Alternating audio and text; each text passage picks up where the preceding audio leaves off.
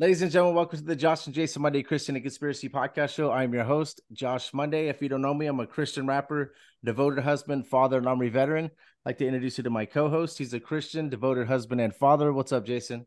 Good morning. What's up, everybody? What's up, Jessie? How you doing? Uh, Morning. let's get this underway, Josh. Yeah, so we have a, a very special guest. I want to thank uh, Michael Fisher. I appreciate you, uh, you know, sending me the information over. Um, uh, Jessie Czebotar uh, is, is coming on, and uh, her, her website is kingdomlivingwithjessie.com.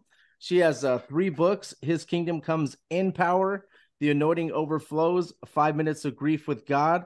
And then she also has some amazing classes that you guys need to check out on her website. One of the classes is Foundations of Kingdom Living.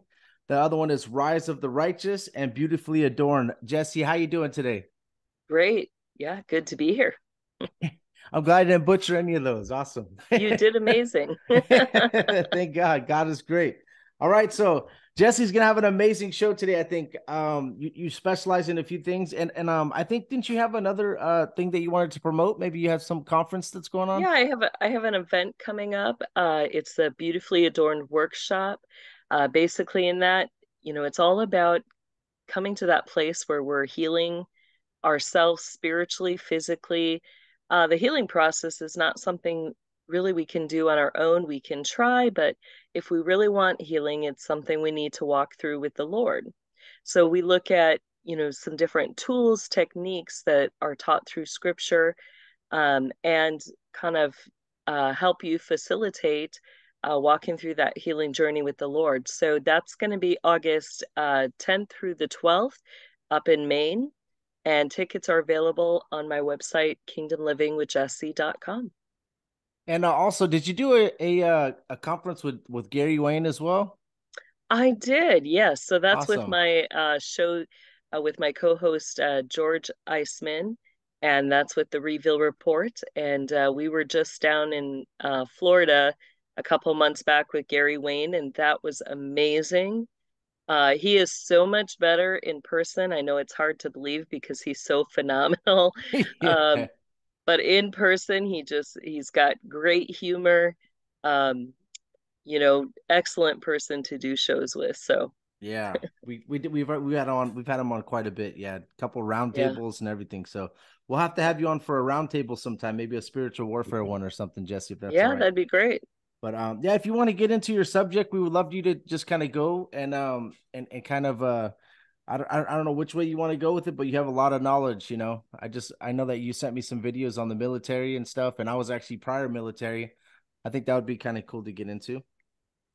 Yeah, absolutely. Um, there's just so much with that.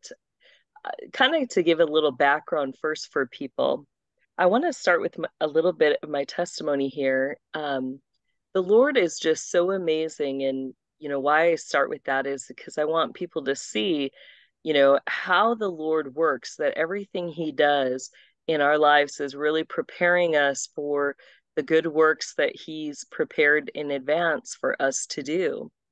So, you know, I was born into a family where neither of my parents were Christian. They they were classified as Christian because they, you know, their families went to church and you know, they would say that they believed in God. Uh, my dad's side was Lutheran, and uh, you know, they were kind of your Sunday, maybe periodically churchgoers. Uh, definitely were there every holiday, uh, but the only thing that they ever religiously did was fish. You know, it was a strong Scandinavian family. The men were hunters and fishers, and that's what they did usually every weekend. Uh, my mom's side were devout Catholics and, you know, went to mass daily and prayed and everything in that side of the family looked, you know, like your perfect, normal, average family. But that was the side that, you know, held held vast secrets that included um, what, what I'm going to call the system, which is the Luciferian Brotherhood. So as the story goes on, um, you know, around age two, God began to move. And it started with our house pipes freezing. And when that happened, my parents and I were forced to have to move in with one of my dad's relatives who was a, a strong believer and a Christian. And he began to take me and my mother to church. And I can remember my first time there that, you know, I was the only uh, little one in the nursery. And I remember this li- little Mexican woman named Lily. And she, you know, was not one to water down the gospel or, you know, make it child friendly because I was just two years old. Uh, she literally, you know, sat me down in her lap, put the Bible across our laps, and started to read to me from the book of John. And I can remember my heart leapt. Um, I was so excited to hear the words out of, you know, John chapter one. And I remember the feeling, you know, like I just, I knew it was true. And I left there, you know, proclaiming to everybody, get ready. Jesus is coming. He's coming. So, you know, that first year, um, I ended up getting a lot of, you know, training. Lily would teach me uh, Bible songs, all these little things that went into my toolbox uh, for what was coming next. And, um, you know, that was all that I had, uh, you know, even though it was, um, you know, I'll say not well defined. Um, you know, I just had the straight word of God and I had little Bible songs.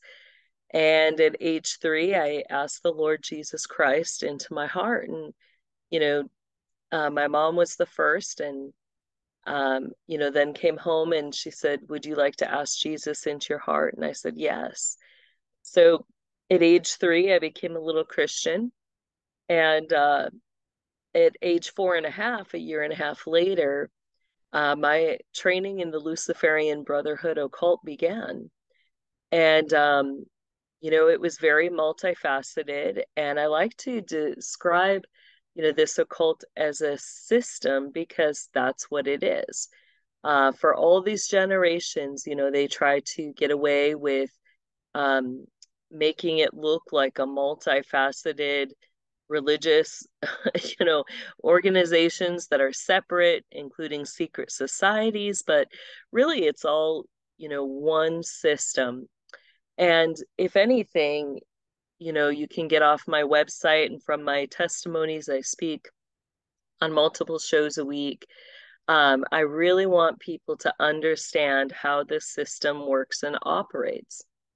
Now, my family uh, was the top of the system. If you can imagine a triangle, at the very, very top of that triangle, you have the five mothers of darkness. Um, that was who my relatives were.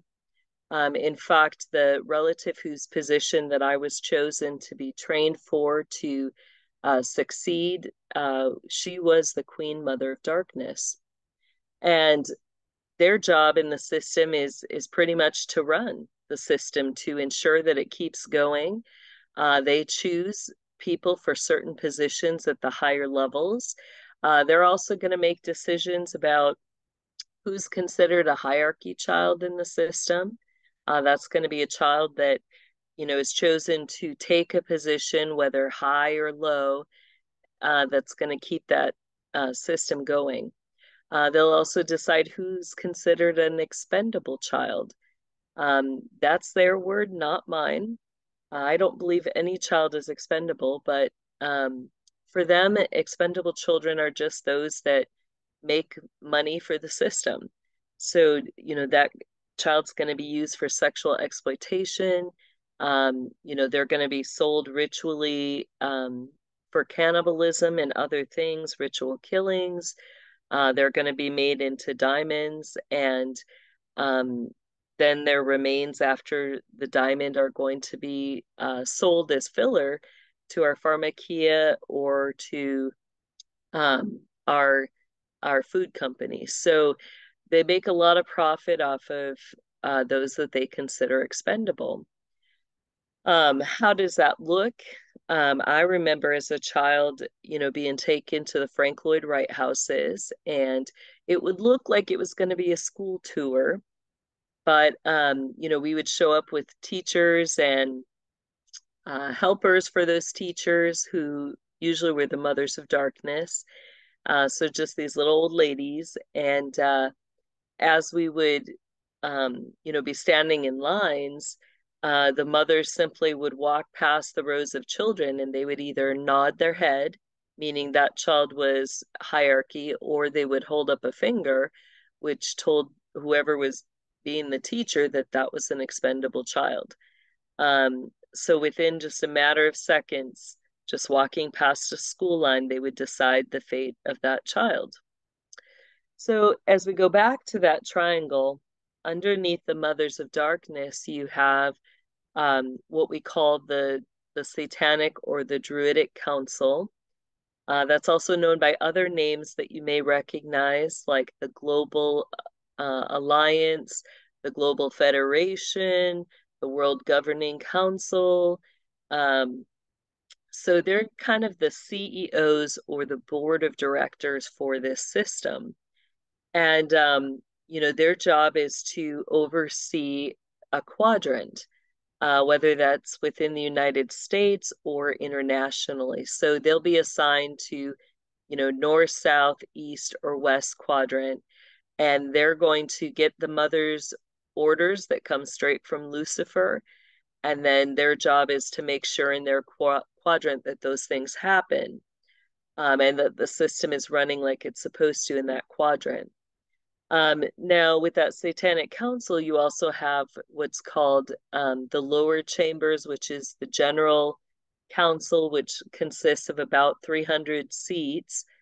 Um, then you also have the the ch- special chambers, uh, which are going to be special councils, um, like the Council of 21, the Council of 13, the Council of 7.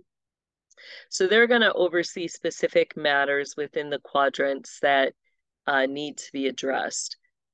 Um, underneath the Druidic Council, you have um, a group of individuals called the Grand High Priest or Grand High Priestesses. Uh, so these are individuals that, again, they're going to, you know, they're kind of like the department managers. They're going to kind of see the whole organization within the quadrants. You're going to have several of them within a quadrant working together. Uh, usually, they're going to have um, a title or be connected to, um, especially if they're male, the Knights of Pythias. Um, these are going to be the ones that will own mansions or uh, be connected to the castles in your area. And uh, their job is going to be to host uh, the special ritual events.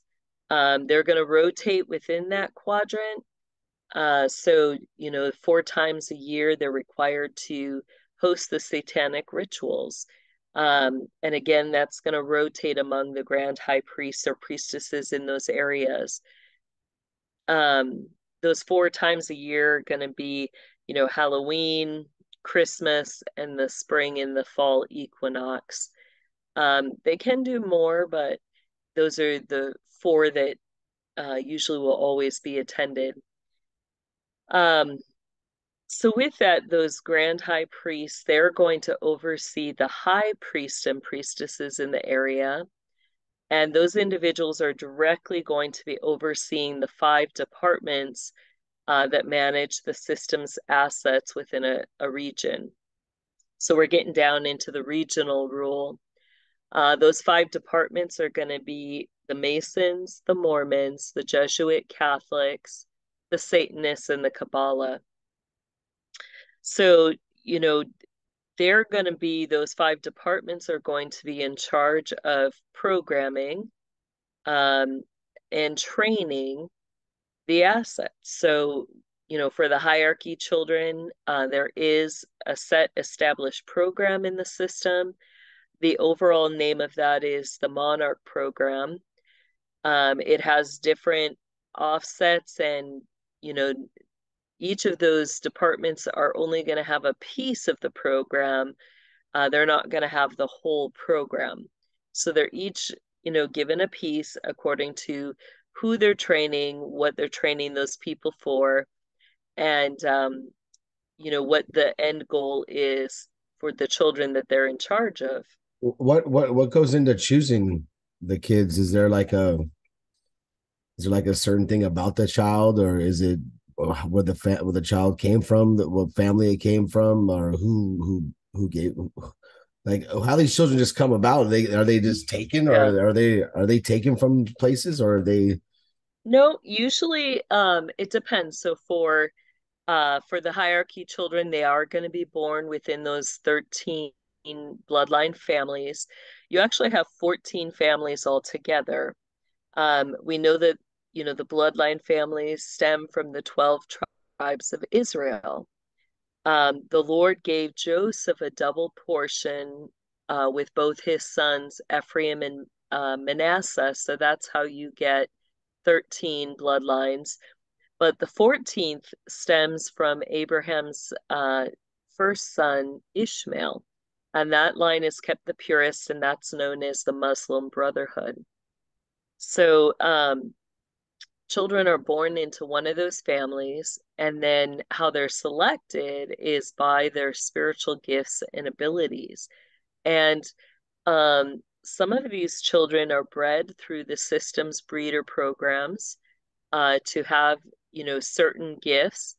Uh, the system's going to be looking for the high level uh, spiritual gifts uh, like prophecy, you know, apostles, revelations, understanding, knowledge. Um, those are the higher gifts that they're going to look for.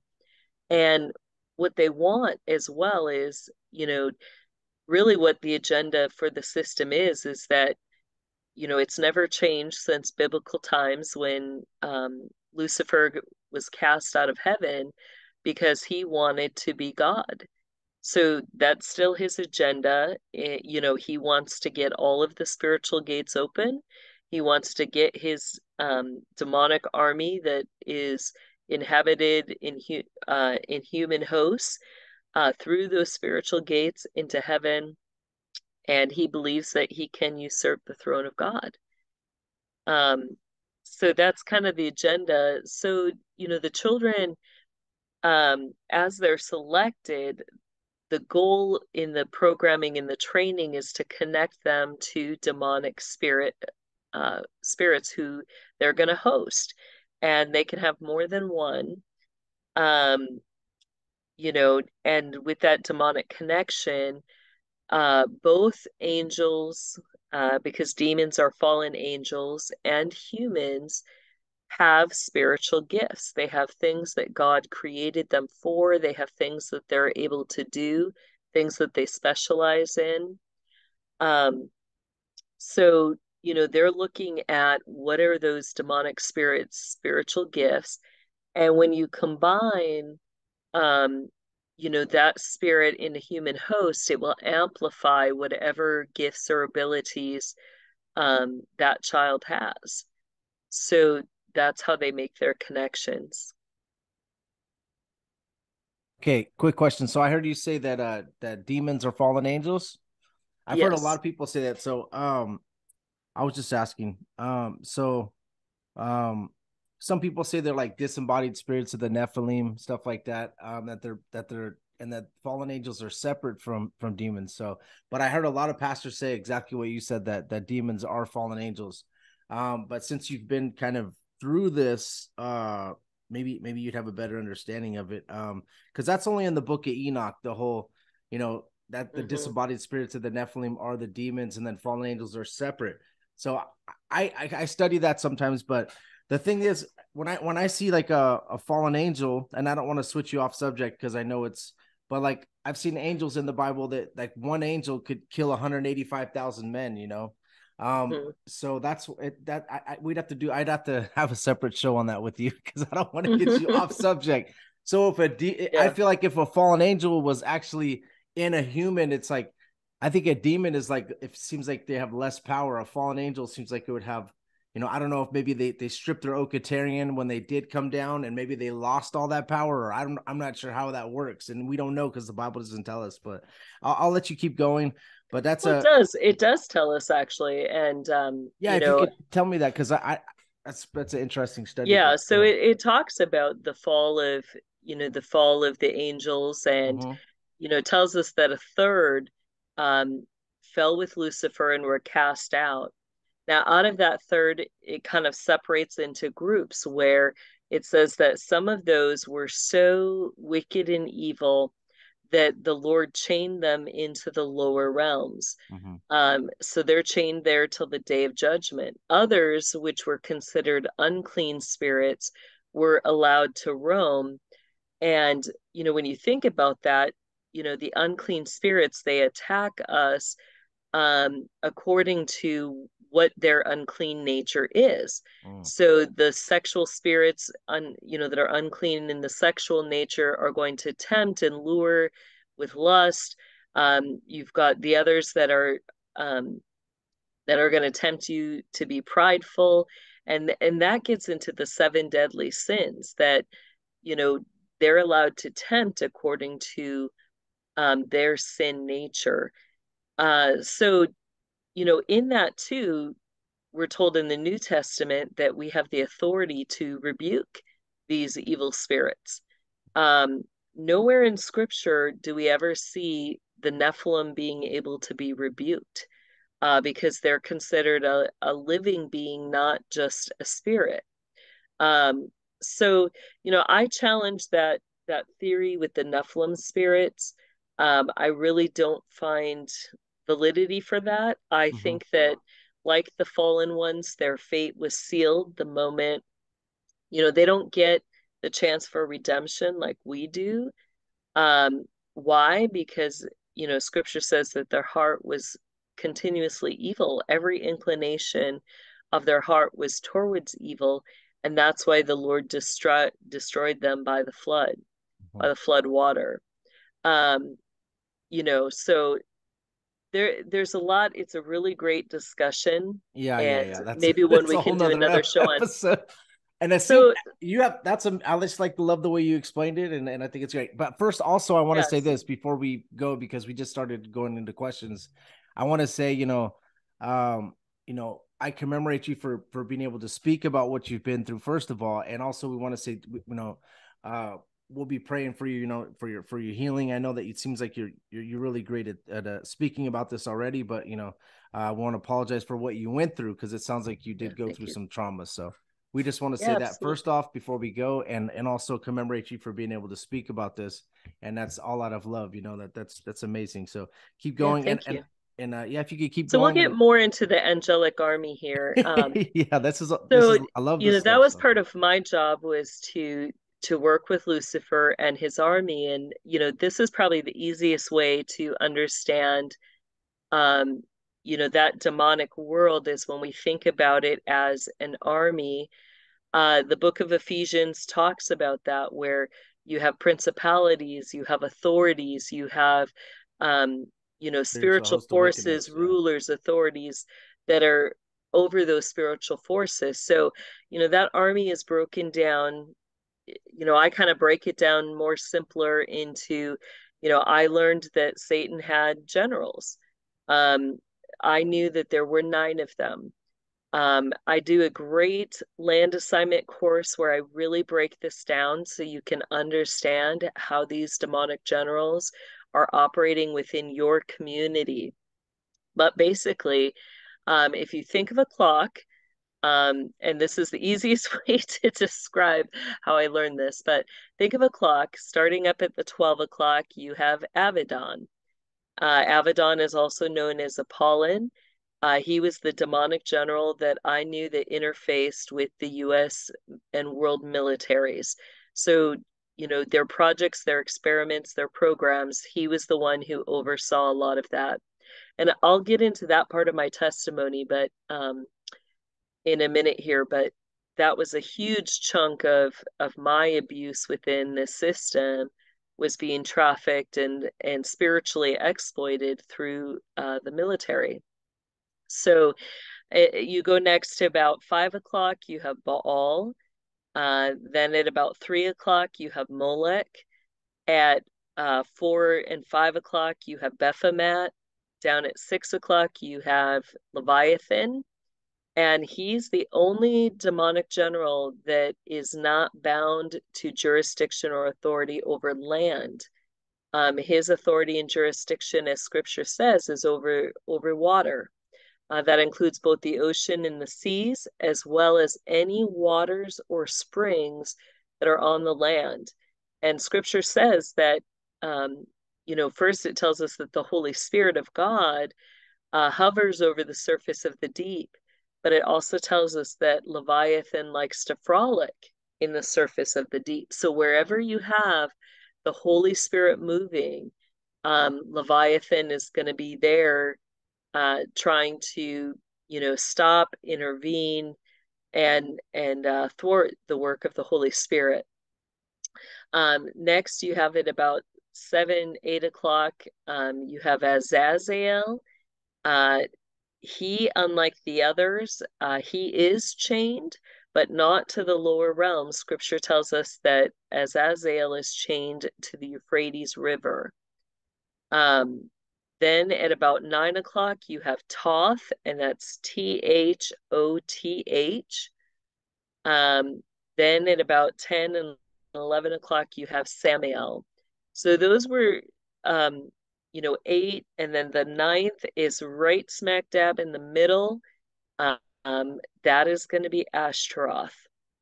Now, these nine demonic uh, principalities, you know, their job is to you know, rule, um, I wouldn't even necessarily say it's broken up by quadrant. Um, you know, they are assigned certain areas and territories, and um, but within that, you know, there's always infighting, so they will make alliances with people. Um, you know, thus they try to gain more power and authority and jurisdiction within their areas. Um, each of them has commanders that rule underneath them. I don't encourage people to read this book, but you can certainly look into it on um, you know online on Wikipedia and, and learn a little bit more. But um, these nine principalities were the ones that King Solomon uh, learned to summon and work with. And um, as he did, he mapped out all of these principalities, uh, their commanding structure, and um, you know their jurisdiction and authority. Uh, you can find all 72 of those uh, principalities and commanders' names in his book, uh, The Keys of Solomon. But again, I don't encourage you to read that because, you know, it's basically a book about summoning these spirits. So, um, but the knowledge was there. It was something that King Solomon sought out himself. And, um, you know, that was kind of King Solomon is considered kind of the founder or, you know, the one who kind of put an organization structure to the Luciferian Brotherhood. Um, it does go all the way back to Canaanite times, uh, to before um, the time that God called Abraham to come out of the land of Ur. So, you know, you can look back into the, that ancient history and culture, and you're going to see the sorcery, the witchcraft, the divination. And who was it who taught that to these men and women uh, who became the brotherhood? Really, it was the fallen angels. And in Genesis 6, it tells us that, you know, as the fallen angels came down and, and, uh, you know, created offspring with the women of men, that they taught those women all sorts of forms of witchcraft, divination, and sorcery. Uh, so that's where it stems from the hidden knowledge of, of these fallen angels. Uh, so um, before I go on, I'll pause for some questions. Yes. Uh, no, I'm just kidding. There's so much information packed in all that stuff you said. So, um, can these? Do you believe that? Well, let me ask you because you probably would know can Satan come down in the form of a human and speak to these people like uh like you know since I know the angels can usually uh when they come down they have a form of a human you know or a human body. Uh do you do you believe Satan can do that? That's first question. And are the nine generals are those coming down in the form of human as well or are this just all spiritual? I it, it is both. Um you do have uh Lucifer Satan taking on different forms. Uh, I witnessed him take on four different forms uh, in my childhood times. Um, you know, one of them is a very, as scripture says, he's very alluring, very beautiful. Uh, so that's, you know, if he takes a human form, usually it is that form as the very alluring, beautiful man. Um, he's got one where he looks golden and blonde, but he has another where he looks darker, um, you know, with dark hair and stuff. Then in in that one too, he also has a shadow form, uh, which is the easiest way to kind of describe it, where he just it looks human, but it looks like a shadow and looks like he's got some scaly armor on. And then he has his dragon form, um, which is just this massive dragon that he mm. appears as. Now, with the generals, um, I did witness some of them in physical form as well. Um, you know, my experience, I had ones like uh, Baal and Molech who appeared more as standing bull type like creatures. Um, you know, Thoth was more like an ogre. I, I guess that's the best way to describe him. Kind of this big, bulky ogre, very big. Um, uh, my experience of her was, you know, and that was one that they tried to link and connect me to. Um, that ritual happened at Neuschwanstein in Germany at the castle there. And um, you know, as they brought her through the summoning circle, she looked like this, you know, thin female mummy with hanging flesh. Mm. And she crawls super fast. And I was just like, oh, heck no. you know, it's like, and the only tool now, and I want people to remember this because so many people are afraid of spiritual warfare. You know, they they say, oh, well, we can cast out demons, but that's only the little I call them the little chicken demons because when you get the unclean spirits, you usually get them in hordes like chickens, and they will all flock around you and oppress and hoard you until you fall into sin. Um, you know, and people think they can only, you know, cast out those spirits. But, you know, as a child, when Ashtaroth came at me, the only tool I had at that time that I could even think of was my little Bible songs. And I, I stood up in that summoning circle and I began to stomp, you know, the B I B L E. Yes, that's the book for me. I stand alone on the word of God, the B I B L E. And with that song, she had to go back down into the ground and could not harm me in any way. So, if as a child, if I could take on one of the major principalities with Bible song, think about the authority that God has given us as adults. And really, that's the authority that I long to, you know, teach people how to use. And that's what all of my courses, my books are about is walking and living in that authority that Jesus Christ has secured for us, um, you know, by his death and his resurrection.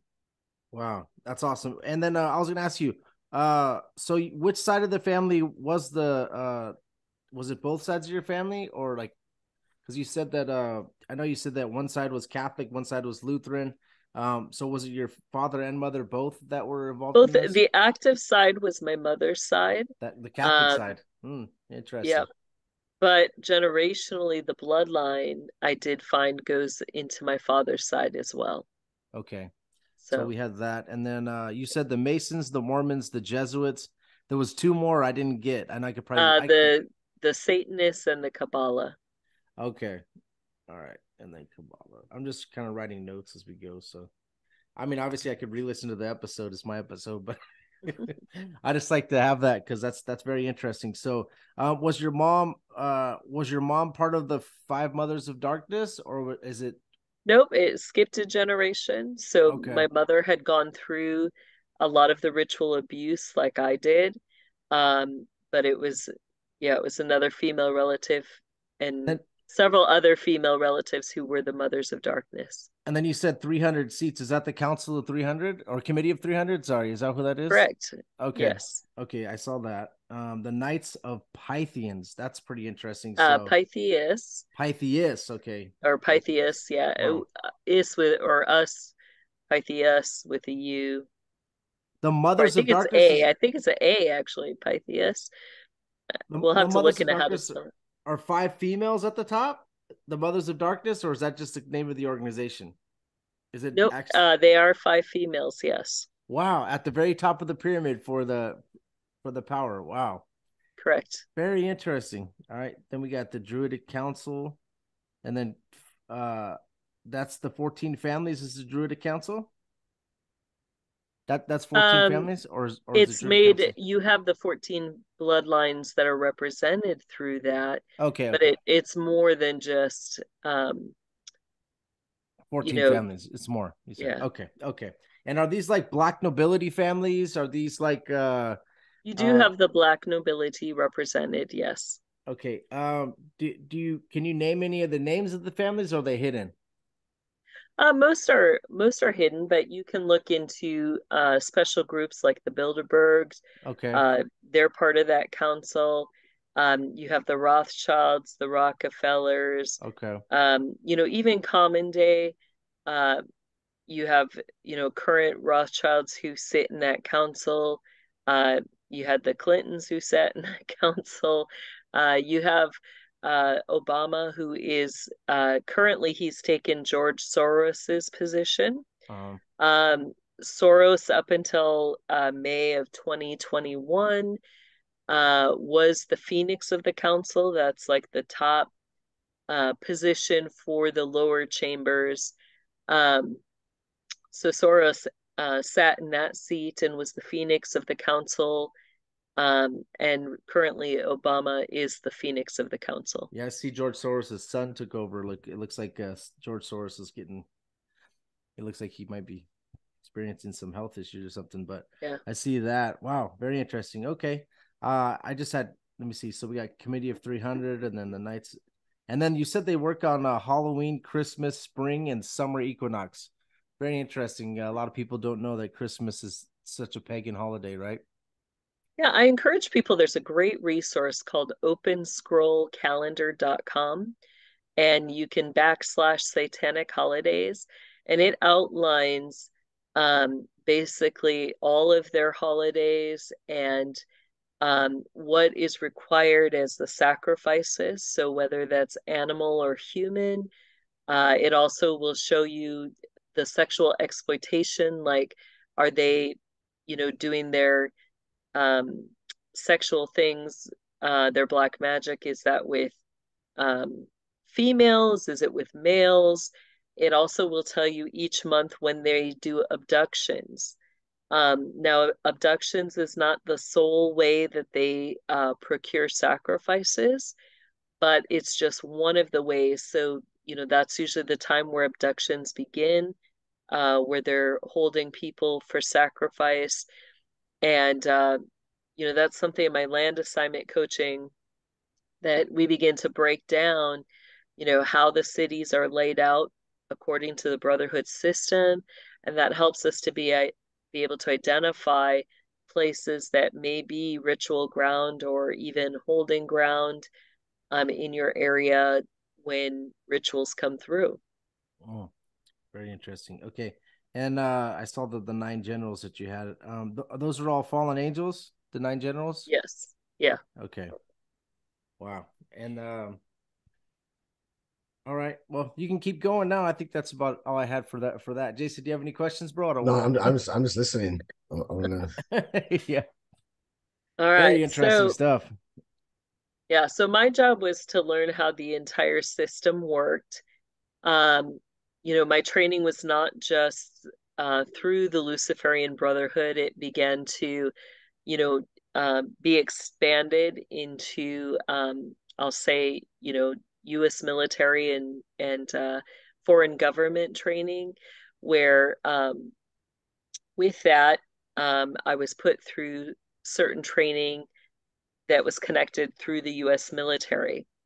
Uh, my main teacher in that in the system was a Nazi by the name of Michael Karkoc. And from my understanding, he is the one of the individuals who specialized in operating the spiritual gates. Uh, what are spiritual gates? The Bible talks about those. It beginning in the book of Genesis, it talk, talks about how God created the earth, how He made uh, fountains that were above the earth and fountains that were below the earth. Um, those fountains held water until uh, the flood in Genesis 6, and that's when their water was released. And from that point on, that was when those spiritual gates began to be used um, by individuals to, you know, as a doorway between the earth and passing into spiritual dimensions. Um, so how I describe kind of those spiritual dimensions, it's easiest if you think of like a chess, like a five layer chess board where you have that middle layer is going to be earth, then you have two realms above, which are the heavenly realms, and two realms below, which are the lower realms. Now, there's certainly more than that, but we're kind of just going for the basic understanding here. So, what happens is that, you know, between those heavenly dimensions, and we've talked about, you know, what what's in those lower realms well at that lowest realm that's where you know d- the demonic angels that were so horrific they were chained down there. Um you know is that hell? Not particularly. You know it literally is its own place and space and time that god created as a holding place until these angelic beings are judged for their sin and their rebellion against god up in the higher realms you have you know what's known as as i'll just say like you know kind of like the outer heavenly realm which is going to be more like space um and then you have heaven itself, which is God's kingdom, which is a very vast kingdom. Um, I love reading the scriptures on it. Uh, you know, it talks about how heaven has pasture lands, uh, how the Lord has a thousand cattle on a thousand hills up there.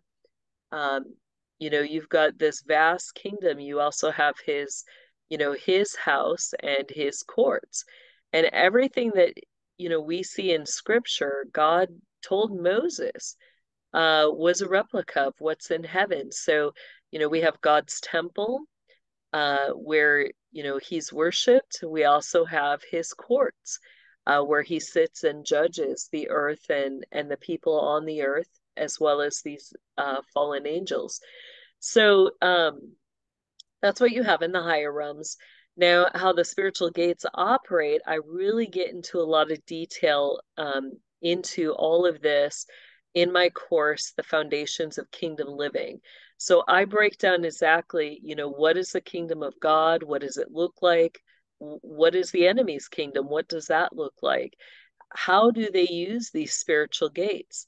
Um, you know, from my understanding, you've you've got kind of three tiers of spiritual gates you have what I call uh, the major or the large gates. Uh, you have seven of those. They are connected to the seven continents, and those are the biggest ones. And they work um, vertically, uh, where you know you're able to go into the use them to go into the heavenly realms. You're also able to go into the lower realms with them. Uh, the other spiritual gates, which are the middle ones and the smaller ones, those tend to operate horizontally, meaning that they're going to take you from a point A to a point B. Now, you can have multiple, you know, you could have point A is the spiritual gate, and that gate could go to B, it could go to point C, it could go to point D. Uh, so you can have many different uh, places you can go through that. Um, you know, probably the easiest way to understand that is, you know, when you look at ley lines and how ley line, you know, can transfer around the earth. Um, that really is kind of how those gates look. They are made of energy. Um, you know, how do they function? Uh, they function off of frequency, uh, resonance, which is light, and vibration. So um, each of those gates, uh, you know, as we get into the technical terms that I break down really well in the course, um, really they operate off of song. So each gate is tuned to a different song So if you want to operate the gate, you have to know the song and be able to um, come into a tuning with that gate, and then you're able just to pass through it. Uh, people can describe that experience differently. Um, and it kind of is based on training. Like, you know, so in the courses, um, you know, I begin to get into, you know, how the system trains people to interface with those spiritual gates. Uh, you have, you know, the military calls it remote viewing. Um, that happens two different ways. Uh, the first way is the most common, uh, which is uh, that you remote view by astral projection, which means that your spirit separates from your physical body. And so your physical body would remain one place while your spiritual body travels through the spirit world. Uh, that's the most common way that the occult teaches, um, you know, traveling through the spiritual realms but that was not me. Um, that was not how God created me. So the second form of remote viewing happens more like in a vision. Um, you know, your spirit never separates from your physical body. Physically, you can go into the spirit world. Um, so, you know, you'll see things, which means you could be one place physically, but then in a vision, you're also seeing everything that's happening in another space or dimension or place or time. So, um, you know, that's probably the fast version of, of where we're going. Hmm. So, um, Michael Karkoc was, you know, that was his job after World War II. Um, he was the Legion, Ukrainian Legion of Defense leader for Adolf Hitler. Uh, from my understanding, he and a bunch of other Nazi scientists and uh, spiritual warriors came into the United States. Uh, he worked to set up the Luciferian Brotherhood uh, within um, our governmental structure. Um, it, the two people that he trained uh, was one, Michael Aquino, uh, who was a colonel with the U.S. military, uh, for the Department of Defense. The Temple of Set. Yeah, Temple. Yep. We did a we did a uh, I don't know if you remember Jason, we did a, a uh, show on that gentleman. Yeah. Yeah, so Michael Aquino was in charge of all the Brotherhood programs uh, and training that were operating through the Western quadrants, uh, both internationally as well as in the United States. And the second person he trained was John Brennan, uh, the head of our Central Intelligence. Um, his job was to be in charge of all the programs that were run for the Eastern quadrants. Um, so, you know, those individuals then began to do uh, my training within the military. Um, it also included several of, I'll say, a couple other children. So, one of the children, I'll just call him my training partner, was a little boy my age. Uh, he was Michael Karkoc's grandson and he was uh, the main person assigned to me as my protector in the system. Uh, Michael Karkoc's specialty was defense magic, and I believe really he headed up, you know, the Brotherhood Protector programs, which is why, you know, he uh, came and taught what his specialty was here in the United States, uh, which included defense magic and um, operating the spiritual gates. So um, another child is, I guess you had several other children. So, you know, my circle groups is what they would be called, uh, started where there were, you know, we had a circle, a larger circle group of about five children.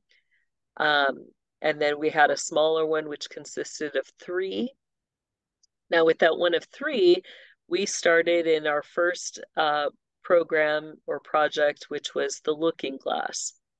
So, with the Looking Glass, um, you know, you interface with the spiritual gates, you begin to learn how they work, how they operate, you begin to listen um, for, you know, their songs and be able to identify, you know, how to open each gate.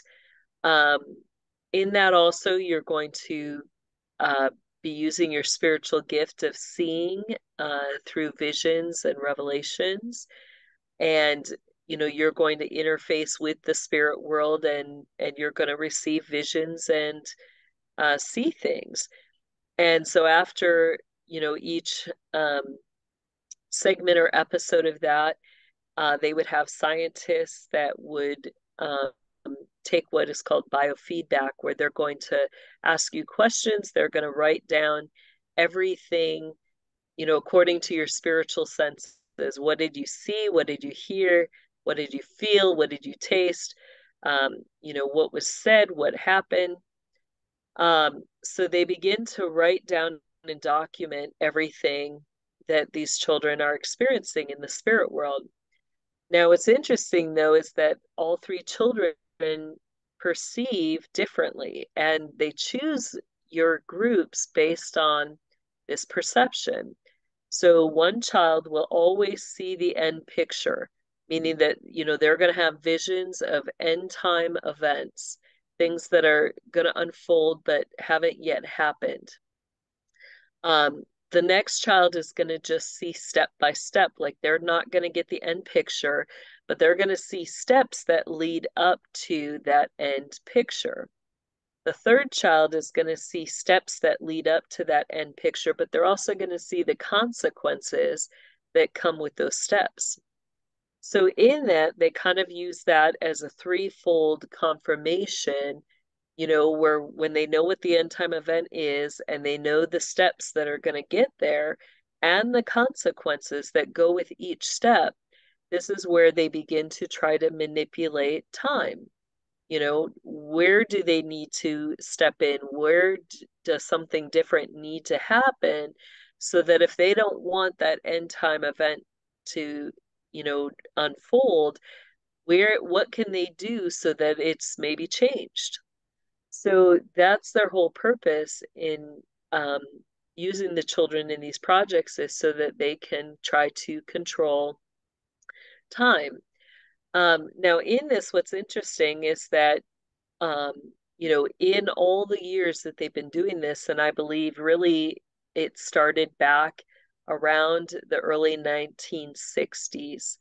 Um, so you have kind of the several generations from the 60s through, you know, past my time through current day, where they've been doing this documentation. Um, what's interesting is that everything stops. Uh, none of the children have ever seen beyond the year 2024, uh, which is why the system believes that that is when, you know, the Lord is going to come because they're not allowed to manipulate time or change events or seasons beyond 2024. And that is when, you know, the book of Revelations fully starts to unfold and um, you know they cannot change the hand of god what god has already said will happen in those last days so um, that's interesting mm-hmm. so after we went through let's pause there before i go into the next projects uh, okay. if you guys had any questions. So you, you were saying that uh, after the flood so uh, during the flood they said that uh, god said that the, the heavens were open then uh, the fountains of the deep and then also it said it rained for 40 days and 40 nights and then he said he closed the heavens. No i don't want to get into too much craziness but um so he closed the the is that what you're talking about? Like when the heavens were open that those those are uh portals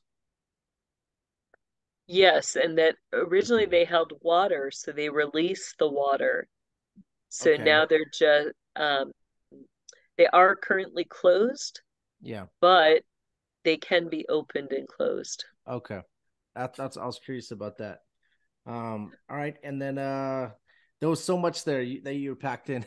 so uh the whole time are you saved when this is going on? Because you Yeah, I was saved at age three. Yeah, that's what I'm saying. So the whole time you were saved, so they were trying to do stuff to you and have you do stuff that, that yeah, I had to participate in the name of Jesus. Kind and... of. How how old were you at this when when this was happening? Like this is just my training started at age four and a half and uh-huh. went through age 10.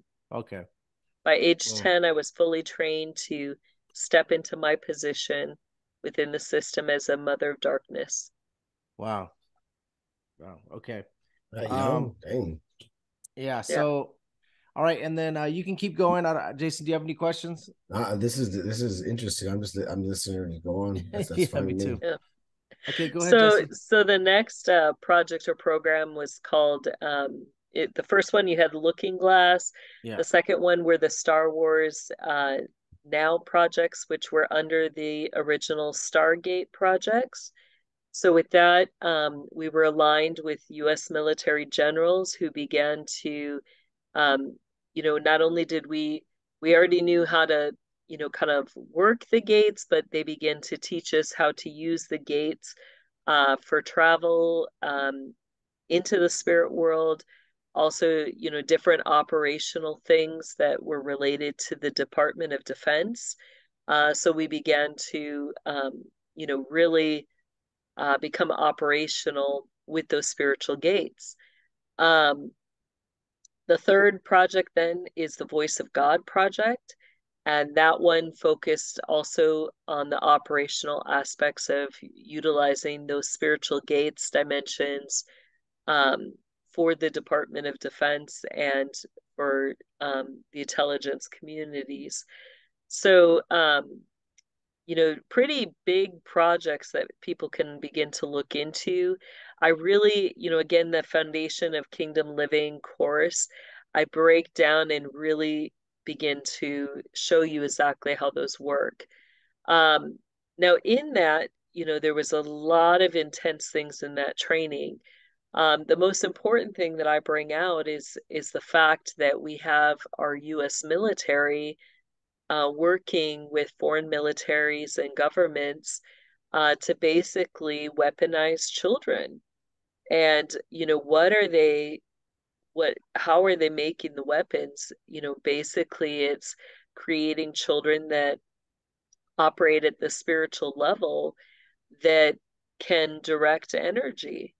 Um, you know, so the biggest day, I, I guess I'll just call it, uh, for the Voice of God project was April 24th, uh, 1984. And in that project, they had a huge weapons display where, you know, many world leaders came. Uh, they were seeing, you know, what can these children do uh, with energy and how can they manipulate it? How can it be used as a weapon? And then they were buying selling and trading children based on those abilities and those gifts. So i was part of that weapons display. Um, it included world leaders like reagan uh, you had gorbachev you had others who were there from iraq iran afghanistan um, all bidding buying selling and trading on children. Wow. so i would propose that this is really you know the things that we see happening it's it's not about nuclear it it's not about um you know something outside of children. It's you know what is the nuclear program? I would propose that it has to do with children and it has to do with the those children's ability to access the spiritual gates and pull energy and use that energy as a weapon. Um, so uh, we'll stop there if you have further questions. Um, no, you can keep. Oh, do you feel like well, is the is the New World Order like all working together? Like some of these wars that we're seeing, are they just staged and and just happening just uh to to make it seem like they're just like going against each other? It sounds like you said yeah. all the world leaders got together in 1984. That they're all getting together, they all have one plan, and that they're all working towards. And it's not really like everybody's really beefing like they say or what do you think? Right you do you do have actual war but um you have two sides within the system. You have the dark side and you have the light side. Um the dark side is almost all the way taken down. You're still going to have some members. And what classifies them as dark it's the type of magic um, that they that they're trained in um, you know, it's that dark Solomonic magic. Um, you know, they also will use blood sacrifice uh, in their rituals uh, to accomplish uh, the end goals. So those are things that make it dark. Um, everybody within the system as you you know go through that training um you know at the basic levels you're going to you know learn the generalities of magic and then you have to specialize. So you either specialize in dark light or gray which means you're going to be a master of both. Um you know as as you go through that then you know i would say that's going to kind of premise which orders in the system you're connected to which secret societies because you have secret societies that specialize in dark versus light. So, like Order of the Golden Dawn, they're going to focus more on the light dark. or white light. energy. Mm, yeah, okay. more lighter or white energy, um, which you know they're going to get into the healing, the Reiki, um, oh, you know, different things like that. Uh, more of the New Age, higher enlightenment type stuff, um, versus the dark side you know, where uh, like Temple of Set, where yeah. you know they're or going OTO? to use. What do you think though? OTO. OTO well? is uh, Order of the Golden Dawn. Oh, they're part of it. Yeah, yeah. I remember we, we did a show. Yeah, Order. Okay. Or Temple Orientis, which is Golden Dawn. Okay. Um, so as they begin to pick their specialty orders, um, you know, at the top you, of the system, you have three primary orders, which, um, you know, the highest members are going to be a part of. So either you're part of the Order of the Phoenix, uh, which Obama is part of that as the Phoenix of the Council. He's also part of the Order of the Phoenix. And then you have the Order of the Golden Dawn. And then at the very top, you have the Order of Melchizedek. Um, it's, oh. you know, not the true priesthood, uh, but That's you know, what does Satan That's... do? He takes everything and and wants to twist and mock it. Um, you know, so you've got the false order of Melchizedek, um, which you know I'm part of all three of those orders, but primarily Golden Dawn and Order of Melchizedek is what I was classified as as a child. So, um, yeah, so if you want to know more, this is a safe book to read, meaning it's just a, a reflection book in the system. So you're not going to have any demonic connections to it, but a good book so you can understand what they believe um, is called The Initiates of the Flame by okay. Manly P. Hall. Oh, yeah. And um, and in that he he really breaks down the order of Melchizedek and what you know that priesthood looks like within the system. He also gives signifiers uh, so one of them he talks about how all the women um, you know men they're required to wear um, purple is the color that they're recognized by and they'll be distinguished by pearls. So think go back you know especially through presidential inaugurations which are rituals and look at the women. You know, what are the women wearing? Um, most of the time, you will see purple and you'll see pearls. Why are they wearing that? You know, is it just because every presidential woman wears that? No, it's to signify that they are members of the Order of Melchizedek, uh, the fake priesthood. I noticed that Mormons, uh, that's that's what they they're shooting for is the is the the priesthood of Melchizedek, right? Is yes.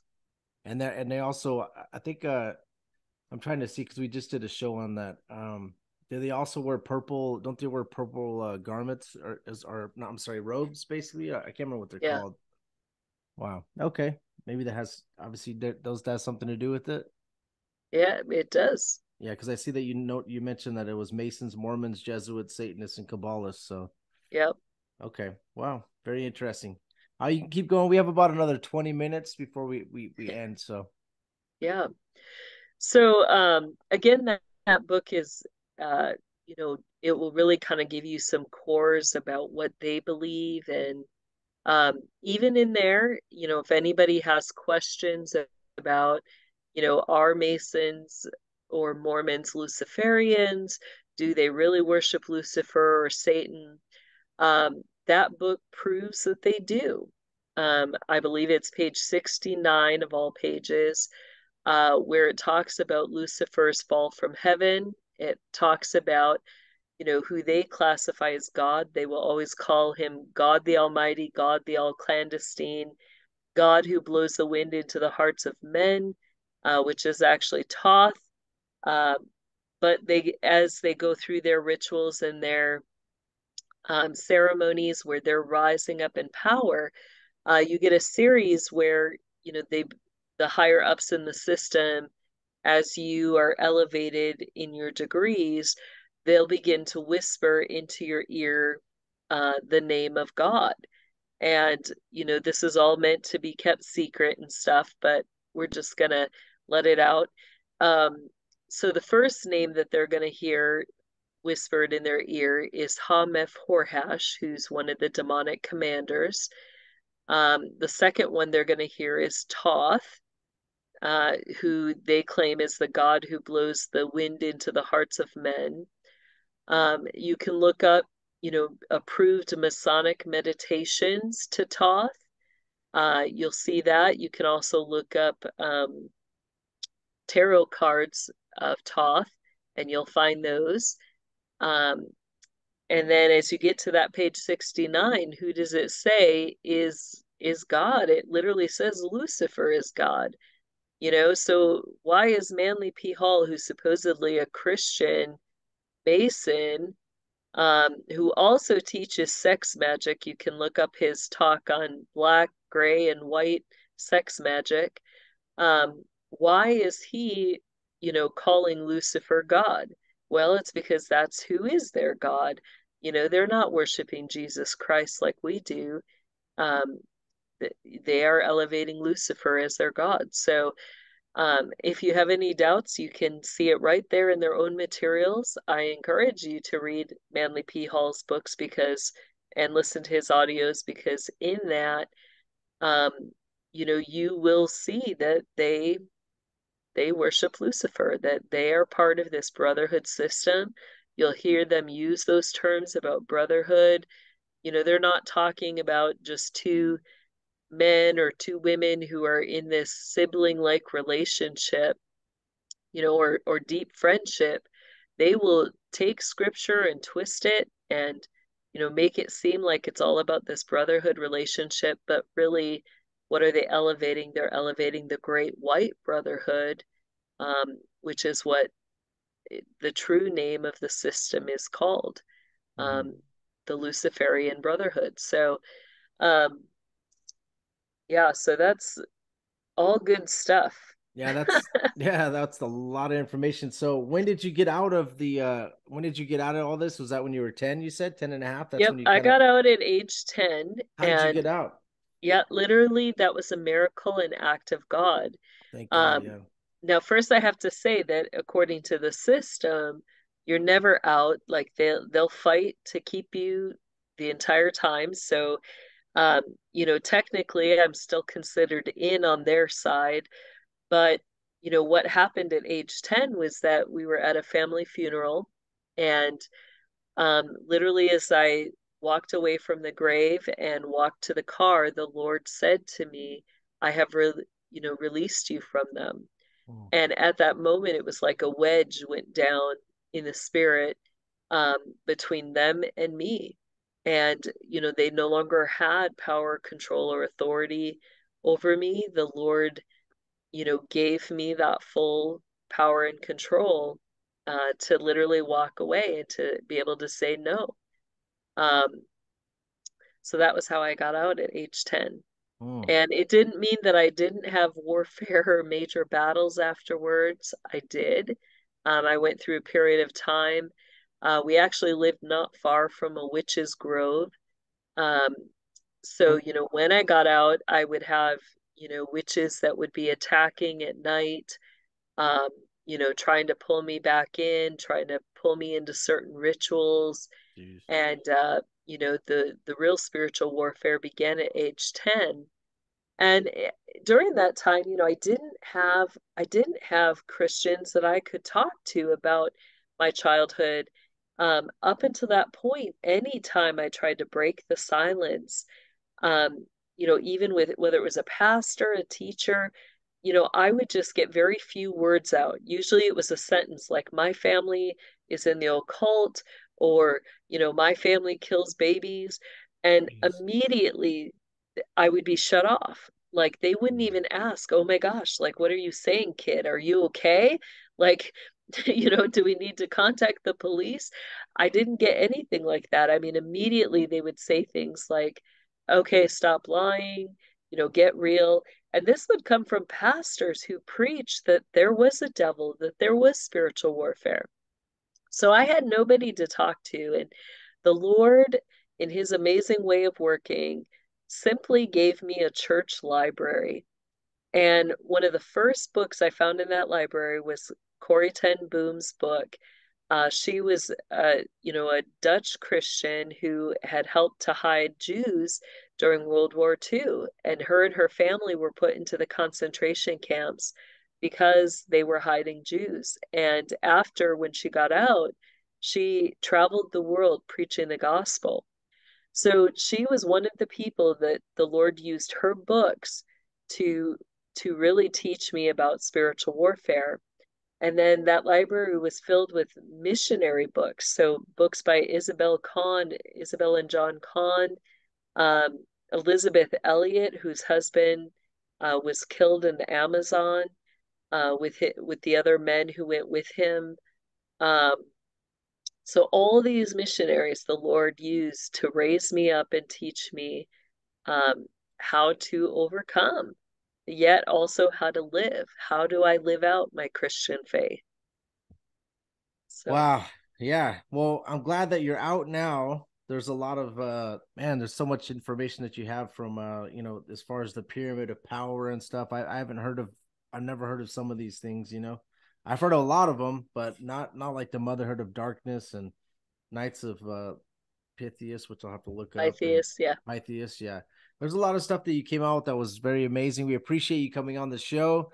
Uh, get, uh any last words for our audience? Like what like maybe somebody's kind of like has one foot in the occult, one foot out. Maybe someone has their their whole you know maybe they're just fully committed to the occult. Maybe some people are just christians that are having spiritual warfare. Can you give us some advice on on how to get out of that and and how how the you know what prayers they could do or whatever they could do to get out of that?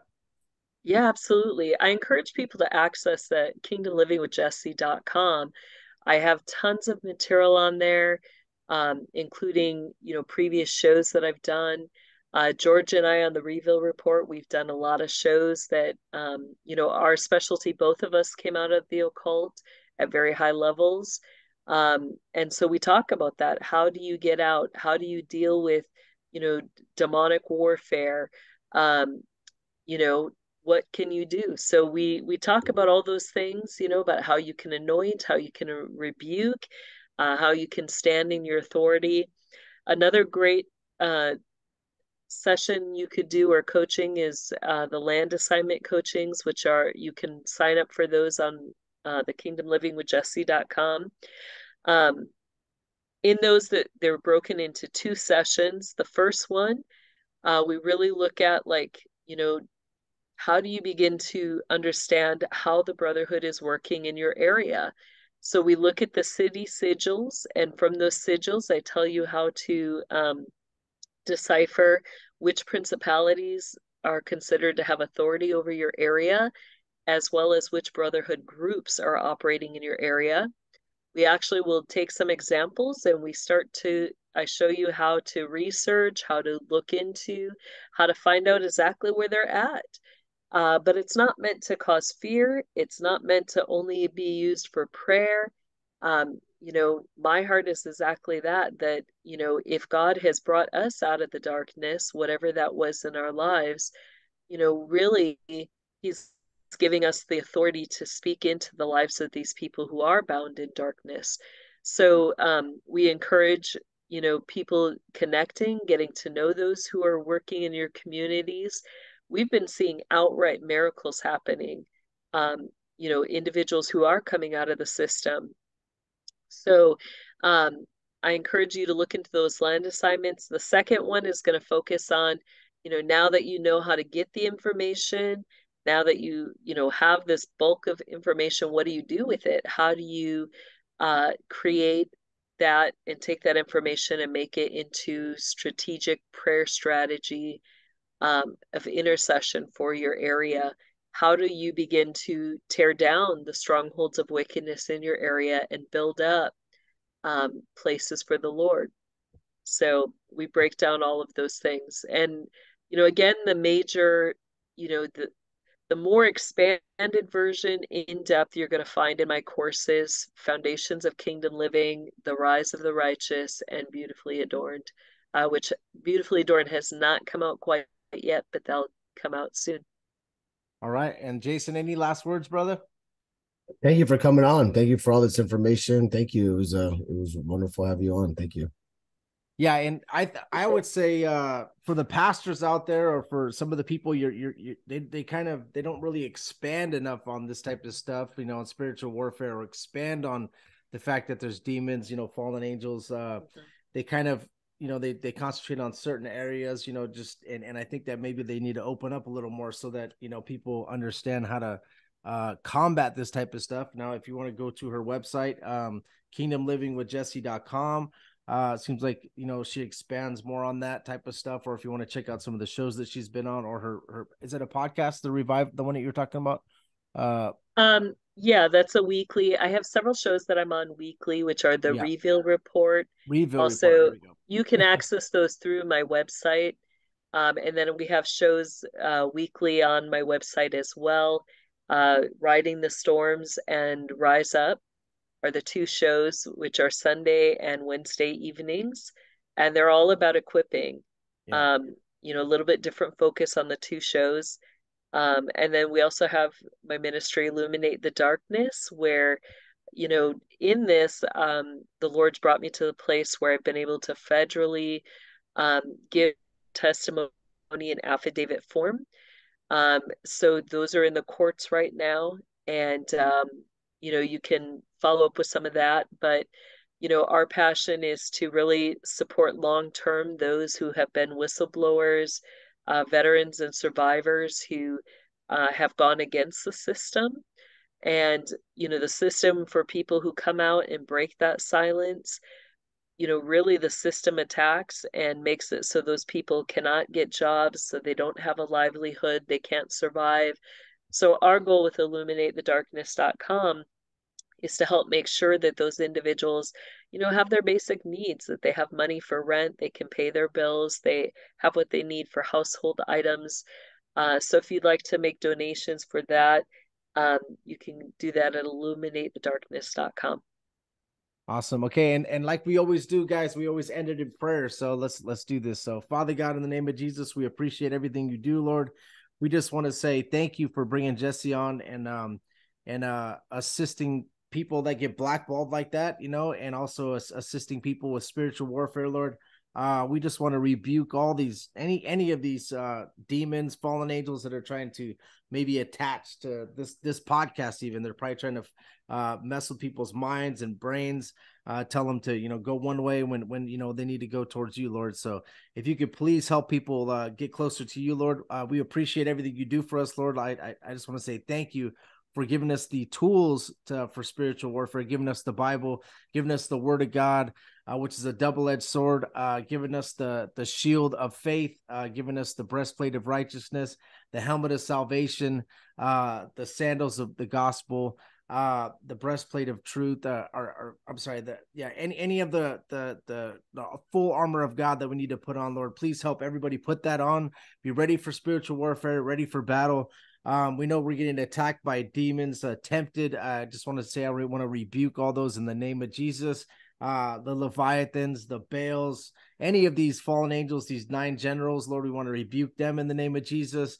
Uh, the Druidic uh, Council, the Satanic, the Kabbalah, the Masons, the any type of uh, you know, we want to rebuke all these in the name of Jesus. We want to say, Lord, thank you for all that you do for us. We appreciate you in Jesus' name. Amen.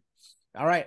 Jason, thank you. Amen. Uh, Jessie, thank you. Uh, if you guys could please share the podcast and also check out Jessie's show and and all of her the three books that she has, her website, King uh, kingdomlivingwithjessie.com. And also check out those courses if you want to try to get into foundations of kingdom living, rise of the righteous, beautifully adorned. Uh, thank you guys so much for listening. Please share the podcast. We love you.